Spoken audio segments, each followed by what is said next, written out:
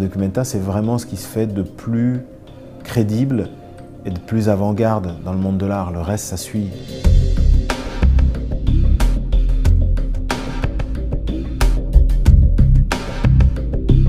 Les Allemands sont toujours connus pour vraiment approfondir l'étude. Chaque fois qu'ils abordent des questions artistiques, c'est très très sérieux, très euh, rigoureux, euh, presque scientifique.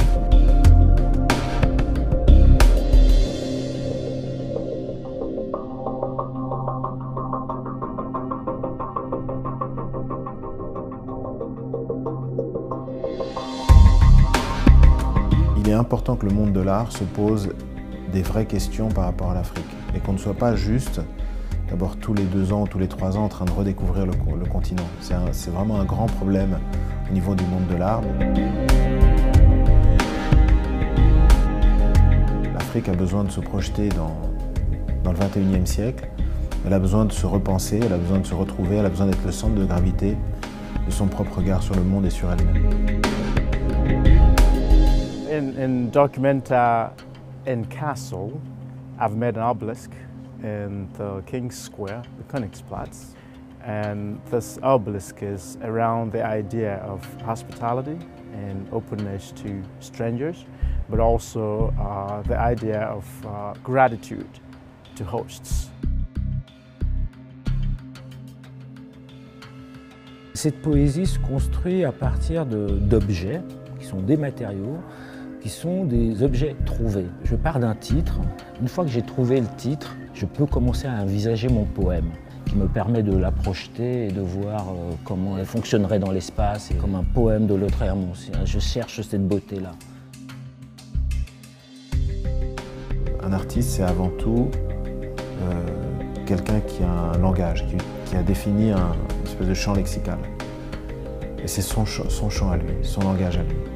La manière dont il maîtrise son langage, c'est super important.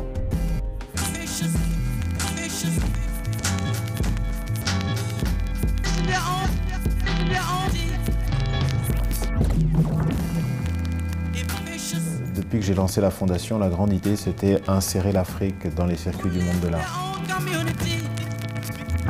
C'était l'opportunité maintenant, parce qu'il y a une proposition dans le projet curatorial de cette 14e Documenta à Kassel, forte teneur africaine, une forte représentation et visibilité africaine, avec un nombre assez important d'artistes.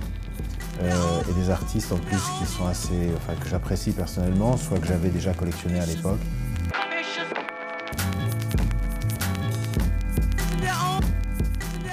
Thank you very much and uh, please have fun. Thank you.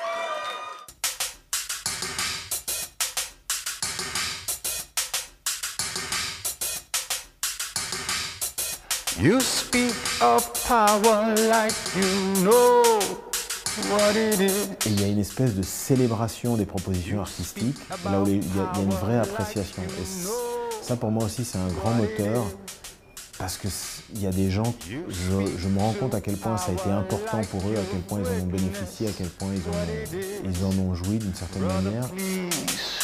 Brother brother.